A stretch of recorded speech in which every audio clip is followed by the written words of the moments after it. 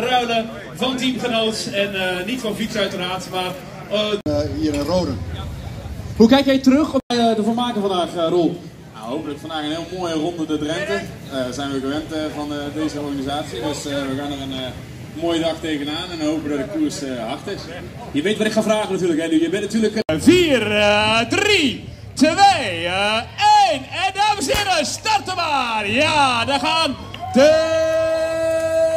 wedstrijdrijders gaan hier van start. Onder het startschot van uh, Jans Jacht gaan zij van start voor 200 monsterkilometers. 200 kilometers door het Drentse land. Laten we oppassen voor de vorst en voor de gladheid. De eerste kilometers